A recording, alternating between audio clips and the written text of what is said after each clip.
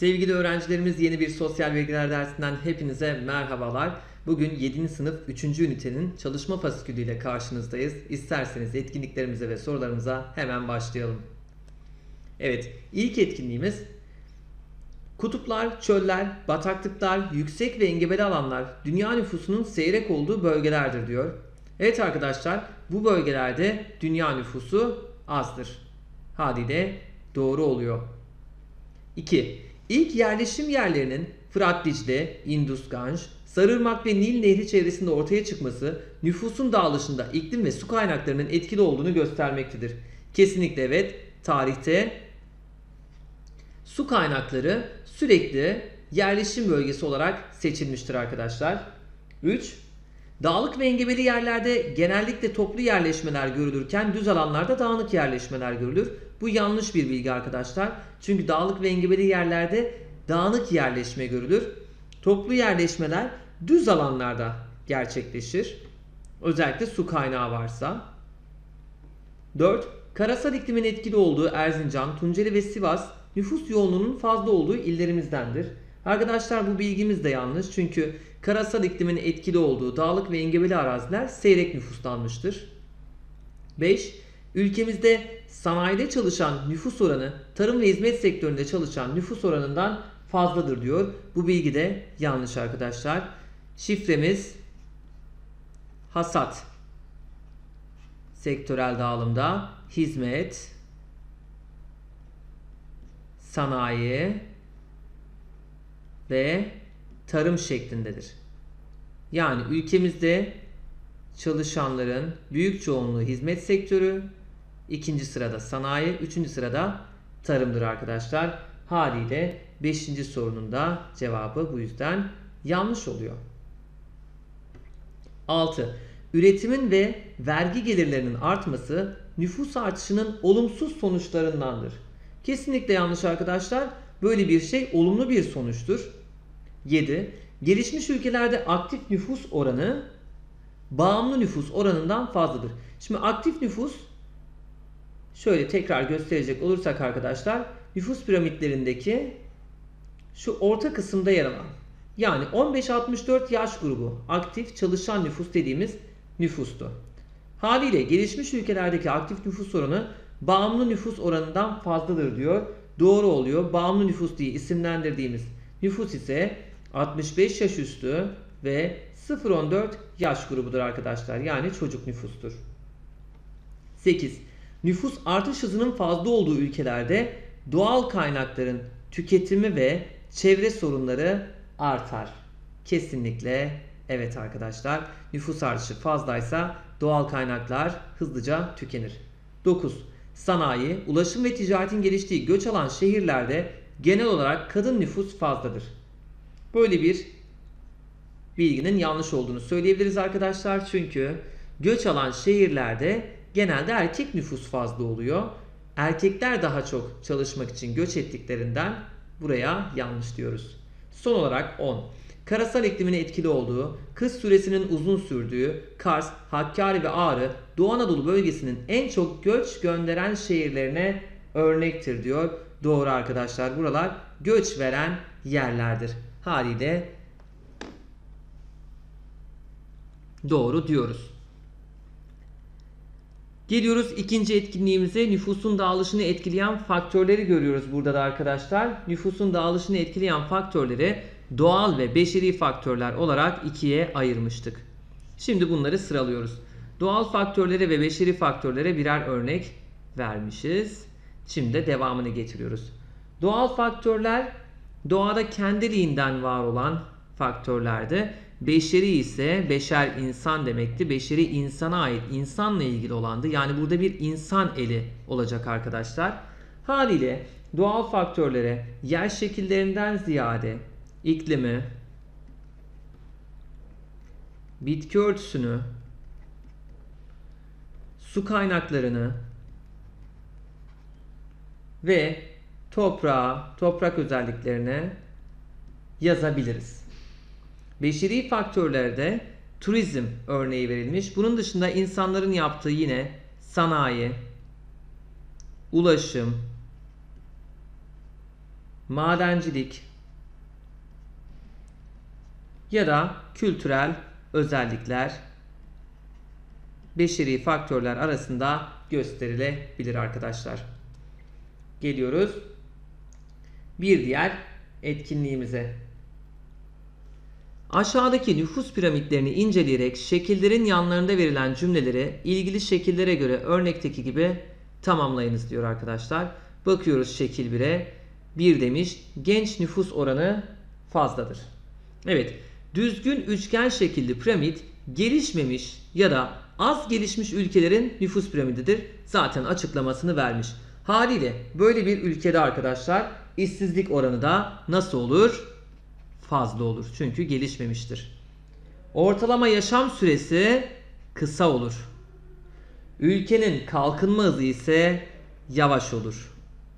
Nüfus artış hızı ise fazladır arkadaşlar.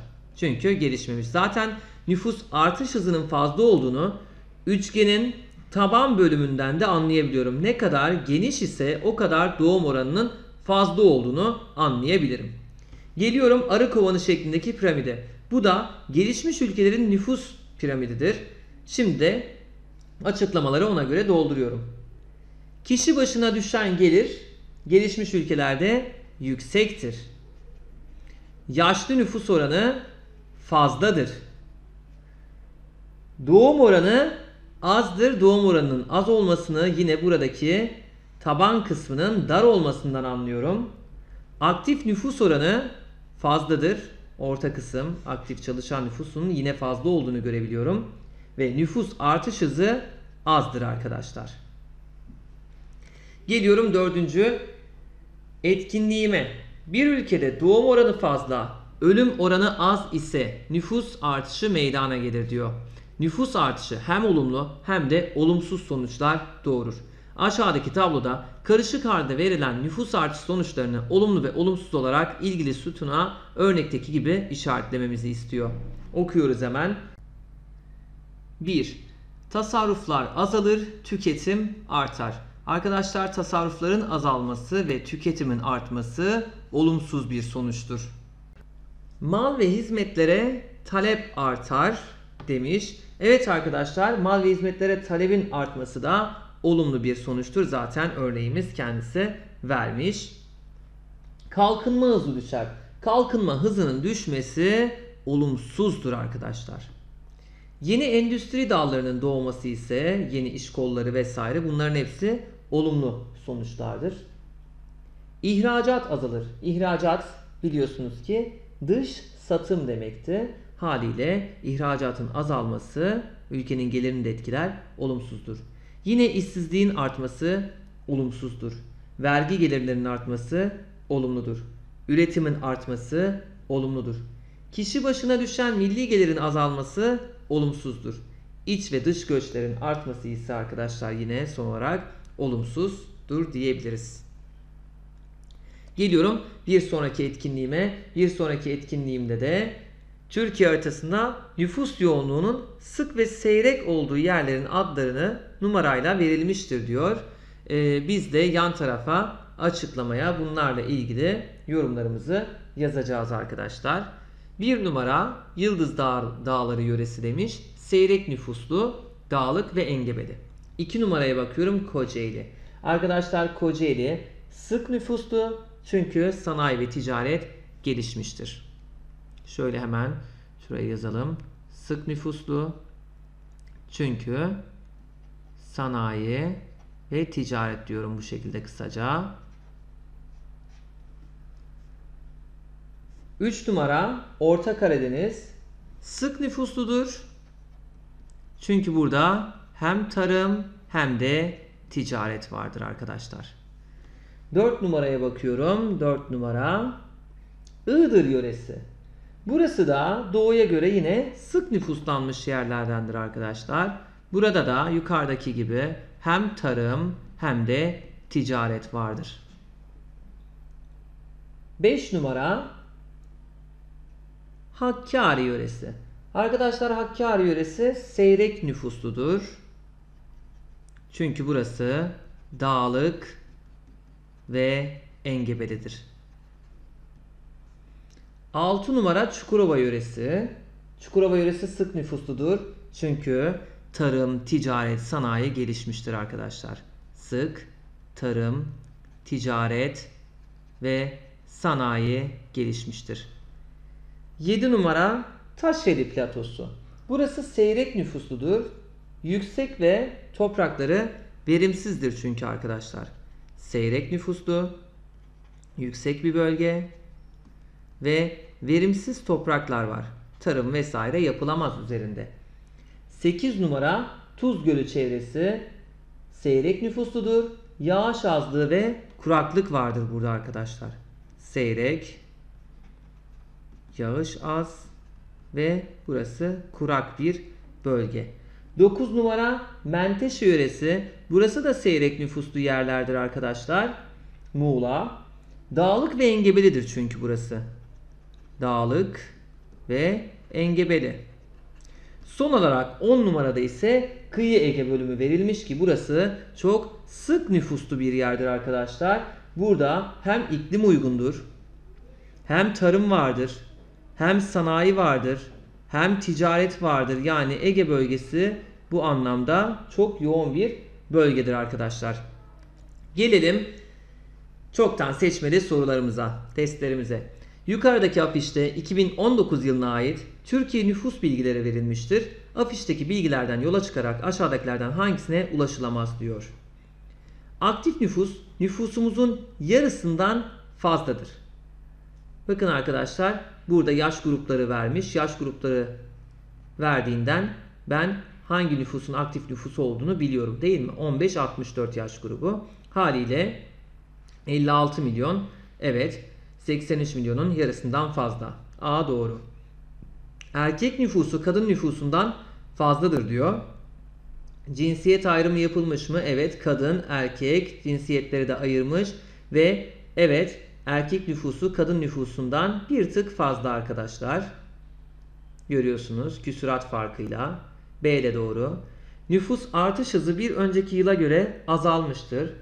Nüfus artış hızımız da şurada yazıyor yıllık nüfus artış hızı. 2018'de binde 14.7 iken 2019'da binde 13.9 evet azalmış. Ardahan'ın az nüfuslu olması yer şekillerine bağlıdır. Arkadaşlar bu haritadan, bu bilgilerden, bu sonucu çıkaramayacağımdan cevap Denizli oluyor. Bir diğer sorumuz. Aşağıda Türkiye'nin 1927-2016 yıllarına ait nüfus miktarlarının ve nüfus artış hızını gösteren bir grafik verilmiştir. Bu grafikten yararlanarak aşağıdaki sorulardan hangisi cevaplanamaz? Bakıyorum hangi yıldan sonra nüfus 60 milyonu geçmiştir?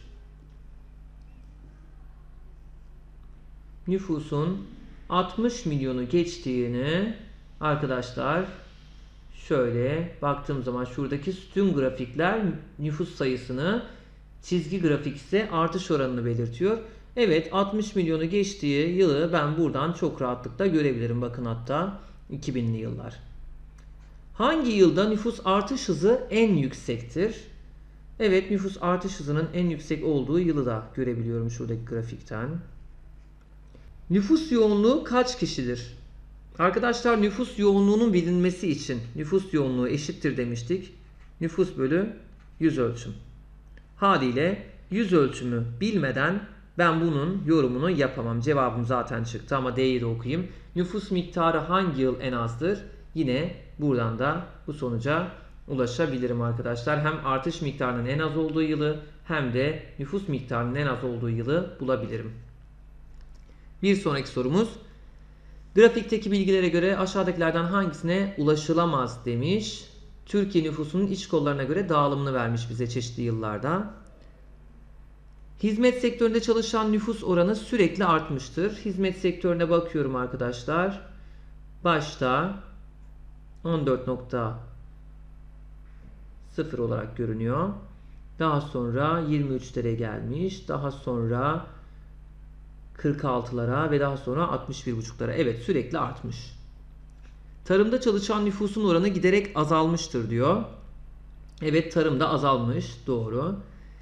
Sanayide çalışanların oranı diğer sektörlerden fazladır. Bu kalsın. Hizmet sektöründe en büyük artış 2000 yılında olmuştur. En büyük artış 2000 yılında mı hizmet sektörü? Hemen bakıyoruz. 23'ten 46. Evet. Burada bir %100 artış söz konusu neredeyse. Haliyle cevabımız C seçeneği oluyor. Sanayide çalışanların oranı diğer sektörlerden fazla değil arkadaşlar. Yıldan yıla zaten değişiyor bu durum. Bir sonraki sorumuza geçiyoruz. Aşağıdakilerden hangisi ılgının dayısına uygulanan seyahat kısıtlamasının nedenidir diyor. İspanya'da yaşayan dayım her sene olduğu gibi bu yılda Mayıs ayında ülkemize gelerek bizi ziyaret edecek ve sonra birlikte tatil yapacaktık. Koronavirüsten dolayı neredeyse tüm dünyada ve ülkemizde yurt dışına çıkma kısıtlaması uygulanınca dayım Türkiye'ye gelemedi. Hem onu çok özlediğim hem de birlikte tatil yapamadığım için üzgünüm demiş. Dış turizm faaliyetlerini artırmak. Hayır. Uluslararası iletişimi kesmek. Hayır. Salgın hastalıkların yaygınlaşmasını önlemek. Evet. Kamu mallarını korumak, suç oranını azaltmak. Hayır. Arkadaşlar belli durumlarda seyahat özgürlüğümüz kısıtlanabiliyordu. Kamu mallarının korunması, kamu sağlığının korunması, düzenli kentleşmenin sağlanması, suç işlenmesinin önlenmesi gibi gibi bir sürü sebep vardı. Burada da verdiği örnek salgın hastalıkların yaygınlaşmasının önlenmesidir. Evet geliyorum 10. soruma. Buna göre aşağıdakilerden hangisi sosyal bilgiler öğretmeni Kazım Bey'in anlattığı dağınık yerleşmenin hakim olduğu bir yere örnek olarak gösterilebilir demiş. Kırsal alanlarda yerleşmelerin toplu ya da dağınık olmasını belirleyen temel faktör su kaynaklarıdır. İnsanoğlu ilk çağlardan bugüne kadar içme ve kullanma suyunun bol olduğu yerlere yerleşmiştir. Su sıkıntısı olmayan kırsal alanlarda yerleşmeler dağınıktır.